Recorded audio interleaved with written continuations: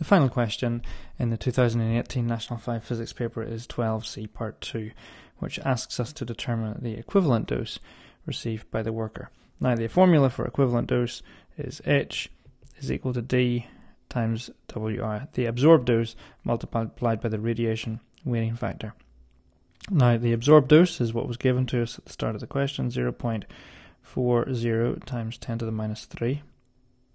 And the radiation weighting factor, we have to um, look that up. We're told in the question that the tritium um, lamp uses beta particles. And so, if we look at beta particles in the data sheet at the front of the exam paper, we find that um, they have a radiation weighting factor of 1.